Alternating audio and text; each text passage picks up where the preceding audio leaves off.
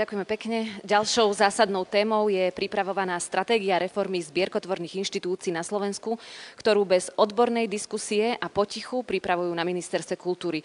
Čo by táto reforma znamenala, už vysvetlí Marcel Čas, bývalý riaditeľ analytického oddelenia Inštitút kultúrnej politiky, ktoré bolo na ministerstve v auguste kompletne zrušené. Dobrý deň, prajem. Keď sa v oktobri minulého roka ujalo Ministerstva kultúry nové vedenie, tak bol prechod moci sprevádzaný početnými deklaráciami o zvrátenosti slovenskej kultúry. Na interných poradách nám bolo neustále komunikované, že v rezorte kultúry bude všetko inak, že sa bude rušiť, že sa bude centralizovať, že sa bude reorganizovať a že vraj 30 inštitúcií, ktoré zraďuje Ministerstvo kultúry, je príliš veľa a že by nám stačilo 10. Bez toho, aby nám bolo vysvetlené, že k čomu by mala takáto redukcia prispieť, a ako sa k tomuto magickému číslo 10 niekto dopracoval. V tej dobe sme nevedeli, či ostane iba pri slovách, alebo príde aj na činy.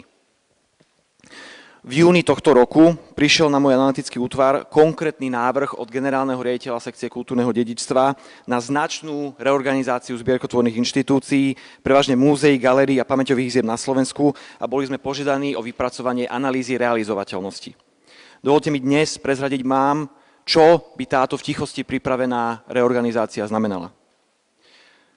Táto reorganizácia by sa dotkla 8 inštitúcií v zriadovateľskej pôsobnosti Ministerstva kultúry, 11 múzeí a galérií, ktoré zriaduje samozpráva, 9 múzejných zariadení a 24 pamätných domov, ktoré sa nachádzajú po celej krajine, ako je vidieť v tejto mapke, ktorá je za mnou.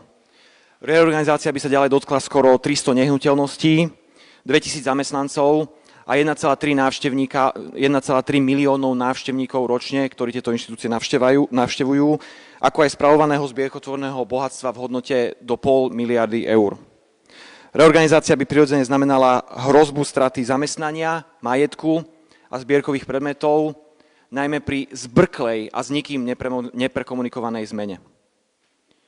Výsledkom by bolo aj bezôvodné zrušenie a vypitvanie erbových kultúrnych inštitúcií, ako sú Slovenské národné múzeum, ktoré bolo založené v roku 1893, Slovenská národná galéria, ktorá bola založená v roku 1948 a Pamiatkový úrad Slovenskej republiky, ktorý bol pod iným názvom založený v roku 1951 a vytvorenie štyroch dnes neexistujúcich zvláštnych subjektov, ktoré by ich mali nahradiť a ktoré sa volajú štátne múzea Slovenskej republiky, štátne umelecké zbierky Slovenskej republiky, štátne hrady a zámky a štátna správa národných kultúrnych pamiatok, ako je vidieť v schéme za mnou.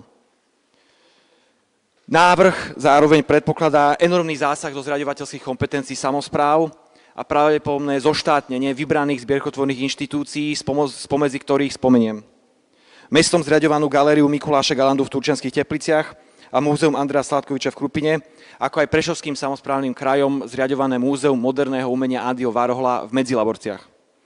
Reorganizácia by sa tak dotkla múzeí, muzeálnych zariadení a pamätných domov v 33 obciach po celom Slovensku. Treba poznamenať, že nebol ani interne stanovený žiadny cieľ takéhoto radikálneho zásahu a my sme sa pýtali a že všetko je pripravované v tichosti a bez akékoľvek diskusie s dotknutými.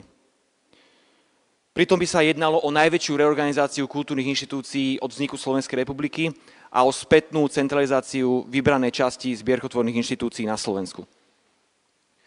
Toto všetko sa deje v týchto mesiacoch na Ministerstve kultúry, ktoré je riadené ministerkou Martinou Šimkovičovou a Lukášom Machalom. Je to pre mňa paradoxné, ale nominanti Slovenskej národnej strany pripravujú likvidáciu, reorganizáciu a vypitvanie konzervatívnych kultúrnych inštitúcií, ktoré sú niekoľkonásobne staršie ako samostatná Slovenská republika. Vie Slovenská národná strana, čo ich nominanti na ministerstve kultúry pripravujú? Vie ministerka Šimkovičová vôbec, čo sa v jej rezorte deje? Je pre nich dôležité, že nič z týchto zamýšľaných krokov nie je súčasťou programového vyhlásenia vlády? Znamená, e, zaujíma ešte niekoho v tejto koalícii, že ministerka Šimkovičová pripravuje niečo, čo není v súlade s vládnym programom? Na mojom analytickom útvare sme žiadanú analýzu realizovateľnosti vypracovali a dnes vám ju poskytneme v pôvodnej autentickej podobe, zároveň s relevantnými podkladmi, ktoré ste mohli vidieť za mnou, a zároveň s autentickou e-mailovou komunikáciou medzi Inštitútom kultúrnej politiky a sekciou kultúrneho dedičstva, ktorá dokazuje, že Ministerstvo kultúry sa pripravuje na faktickú likvidáciu značnej časti zbierkotvorných inštitúcií na Slovensku. Ak nechcete, aby Machala a Šimkovičová páchali ďalšiu škodu, a oni budú páchať ďalšiu škodu, tak je veľmi dôležité, aby ste zajtra vo štvrtok 19.9. prišli podporiť celoslovenské protesty. My máme informácie z prostredia Ministerstva kultúry, že sú veľmi, veľmi nervózni. Sú nervózni, pretože sa boja sily a hlasu, ktorí vedia, že kultúrna obec má. Preto prosím, príďte podporiť zajtra protesty. Má to význam. Ďakujem pekne. Ďakujeme a teraz je priestor na vaše otázky. V prípade, že si však chcete nahrať individuálne rozhovory, naša rečnička a rečníci tu pre vás ostanú k dispozícii aj po skončení tlačovej konferencie.